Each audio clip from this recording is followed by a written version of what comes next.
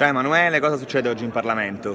Adesso stiamo attendendo i comodi della Presidente Boldrini che deve decidere su cosa sul da farsi. Oggi abbiamo votato eh, alcuni emendamenti, non tantissimi, sulle riforme. Uno importante era quello dei due mandati parlamentari massimi. Che è uno, il nostro cavallo di battaglia, tra l'altro. Il nostro cavallo di battaglia del programma del Movimento 5 Stelle. Noi che siamo coerenti ovviamente abbiamo proposto e votato a favore. Qualcuno del PD, tre hanno votato in dissenso, ma sono... Solito coraggio da, da leoni. Di Pulcinella.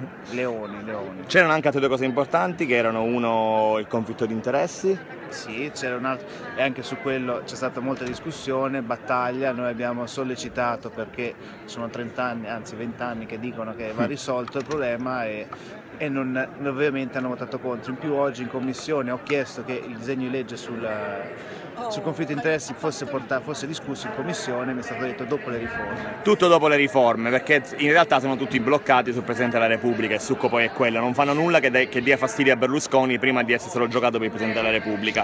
Intanto nota di folklore, la Lega oggi ha fatto un po' di casino perché la consulta ha bocciato il, la richiesta di referendum sull'abrogazione della Fornero e, e noi siamo favorevolissimi sempre al fatto che i cittadini possano esprimersi con un voto, tant'è che stiamo raccogliendo le firme sull'euro per il referendum ma la cosa patetica è stata che deputati di scelta civica e anche del PD abbiano fatto un, un attacco al fatto non nel merito del referendum, ma al fatto che la Lega avesse raccolto le firme per il referendum. Dimostrano, tanto per cambiare, che a questa classe politica e alla maggioranza del parere degli italiani non gliene frega assolutamente niente. Ora torniamo a votare, Manu, che cosa sarà di particolarmente importante? Beh, siamo sull'articolo 2, quello che riguarda la composizione del Parlamento, meglio del nuovo Senato e e verrà votato oggi, non credo, mai domani, l'emendamento rosato che riporta il testo che per sbaglio diciamo, è passato in commissione la modifica, quindi si cerca di, di, di ridurre al silenzio le, le minoranze del PD. Quindi... Nel progetto piduista di questo governo. Vi salutiamo e ci vediamo domani. Emanuele Cozzolino trovate la sua pagina Facebook. Ciao. Ciao.